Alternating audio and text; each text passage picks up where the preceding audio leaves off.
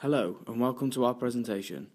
My name is Niall and presenting this vlog with me is James, Joshua and Josh. We are going to be looking at net present value, looking at the process and also looking at case study. As well as this, we also wish to evaluate the positives and negatives of net present value. We will also be looking at how to apply it in a business format, and we will also give you a task to participate in. We hope you find this useful. What is net present value? Net present value is one of the three forms of investment appraisals, along with average rate of return and payback period. Net present value is also one of the two discounting techniques. Daniel Kurt defines net present value as the difference between the present value of cash inflows and the present value of cash outflows. Why would a business use net present value? Net present value gives a fair valuation of the value of money to a business. It's usually used in a business format in capital budgeting in order to analyse and review the possible profit, profit to be made on a new investment or project. Its main purpose is to give a business a more accurate valuation of what their cash will be worth in the future.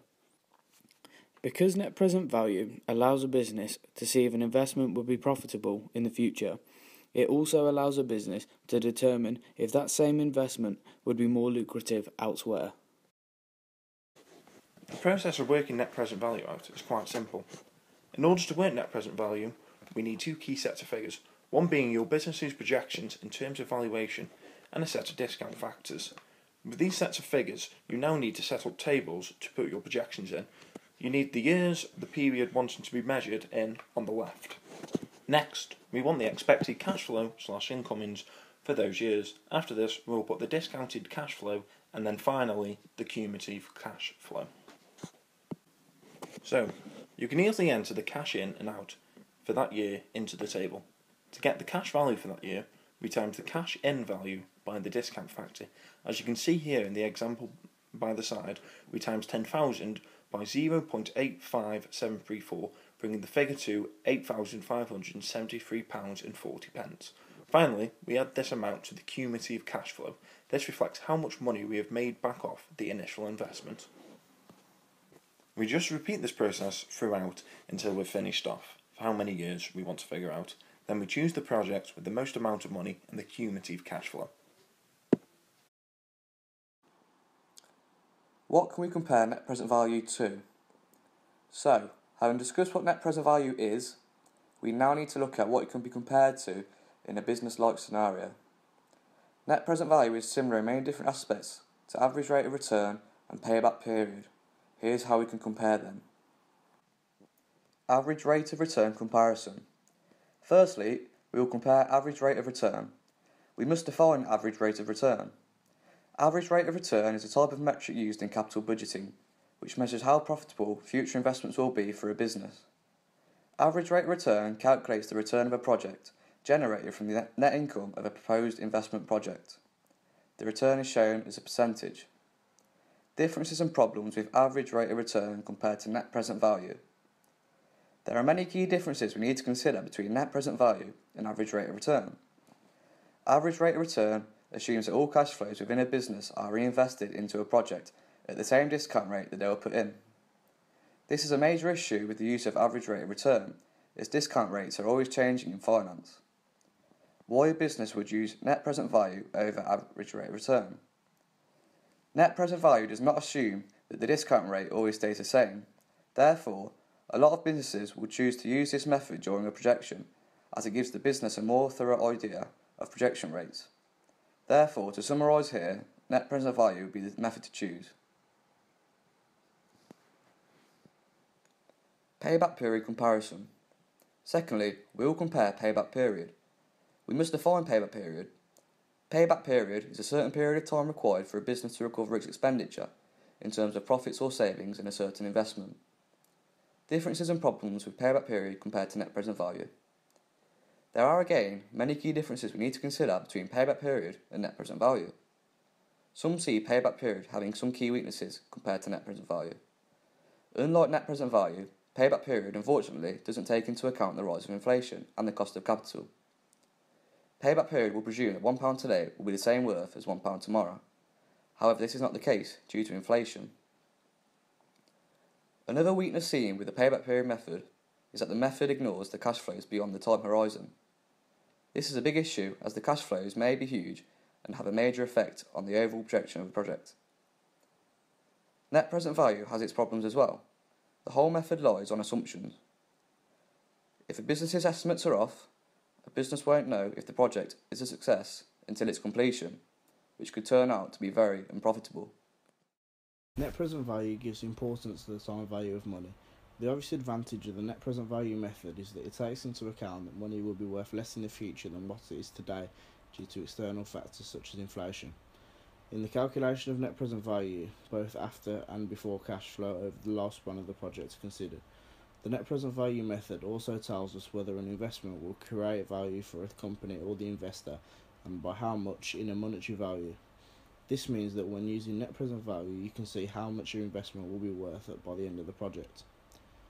Net present value also helps in maximising a firm's value. It takes into consideration the cost of capital and the risk in making projections about the future, which are essentially just an educated guess. In general, projections for a shorter period of time are more accurate as it is more likely that less external factors can have an impact and affect the eventual figures. Cash flows that are projected further into the future have less impact on the net present value than more predictable cash flows that happen in earlier periods. A disadvantage of net present value is that it may not give the correct decision when the projects are of an equal life.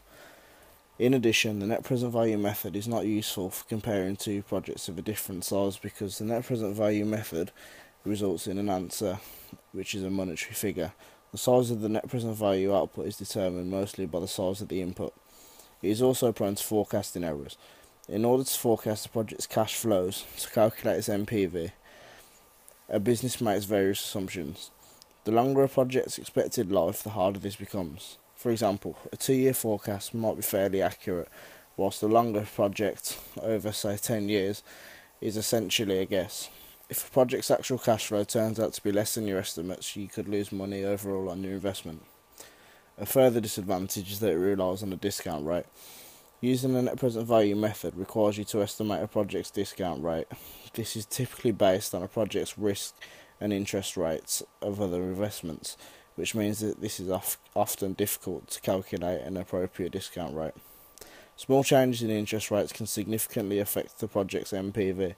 If you use an inaccurate discount rate in your analysis, you might find an incorrect decision, such as to invest in an unprofitable project or pass on a profitable one.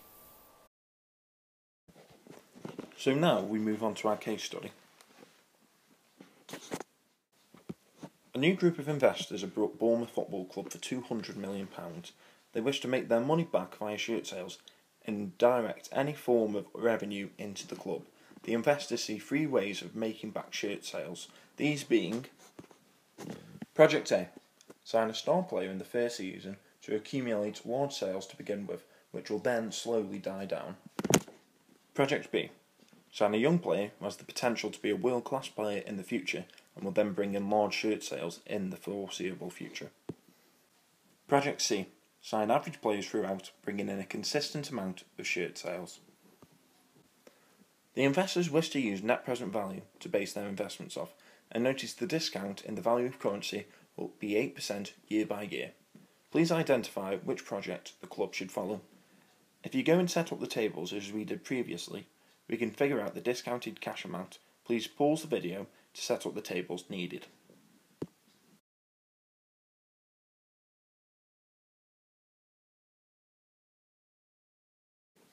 So now hopefully you have the discounted cash flow values. If not, they are here themselves. All you need to do now is add them to the cumulative cash value. Again, you can pause the video to do this yourself.